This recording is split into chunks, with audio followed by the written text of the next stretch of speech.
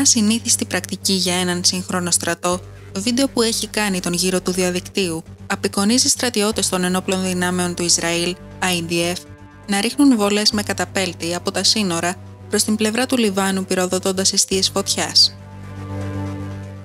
Σύμφωνα με το κρατικό τηλεοπτικό σταθμό του Ισραήλ, ΚΑΝ, πηγή του IDF διευκρίνησε ότι επρόκειτο για τοπική πρωτοβουλία και δεν χρησιμοποιείται ευρέως ο καταπέλτης από τις Ισραηλινές ένοπλες δυνάμεις.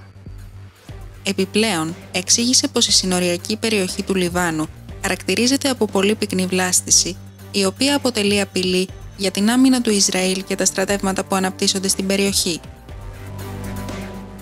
Ο καταπέλτης, ο οποίος είναι ένα εργαλείο που χρησιμοποιούταν κυρίως σε πολιορκίες στην εποχή του Μεσαίωνα για την εκτόξευση φλεγόμενων ή μη αντικειμένων, φέρεται να ήταν μια πρωτοβουλία εφέδρων στρατιωτών για τον καθαρισμό της βλάστησης που χρησιμοποιούταν από μαχητές της Χεσμολάχ για κάλυψη.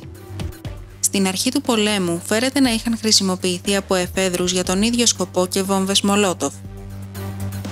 Όπως σας ενημερώσαμε στο Nemesis HD την Τετάρτη, η Χεσμολάχ εξαπέλυσε τη μεγαλύτερη επίθεσή της στο βόρειο Ισραήλ από την αρχή του πολέμου με την Χαμάς, εκτοξεύοντας πυράβλους, drones και περισσότερες από 200 ρουκέτες.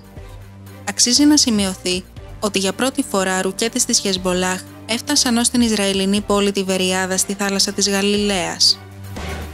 Αυτό το γεγονός θα μπορούσε να αποτελεί ένδειξη ότι η εκτόξευση των ρουκετών πραγματοποιήθηκε από νοτιότερα σημεία του Λιβάνου από ό,τι συνήθως και να αποτέλεσε την αφορμή για να προχωρήσει ο IDF στην καύση της βλάστησης.